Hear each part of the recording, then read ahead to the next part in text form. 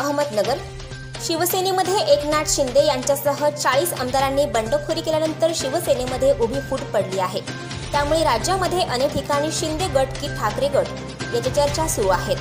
अहमदनगर शिवसेना उद्धव ठाकरे यांच्या पाठीमागे खंबीरपणे उभी असल्याचं आज उद्धव ठाकरे यांना पाठिंबा देण्यासाठी शिवसेनेचे जिल्हाप्रमुख शशिकांत गाडे यांनी शिवसेनेची बैठक आयोजित केली होती.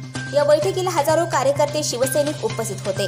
यापुढील काळात नगर जिल्ह्यातील शिवसैनिक मुख्यमंत्री उद्धव ठाकरे यांच्या पाठीशी उभे आहेत आणि यापुढेही ठामपणे उभे राहील असा विश्वास शिवसैनिकांनी व्यक्त केला.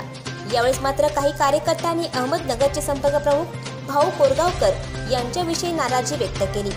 बैठकीनंतर शिवसैनिक आक्रमक होत शिवसेनेच्या सर्व बंडखोर नेत्यांचे पुतळे जाळून निषेध करण्यात आला.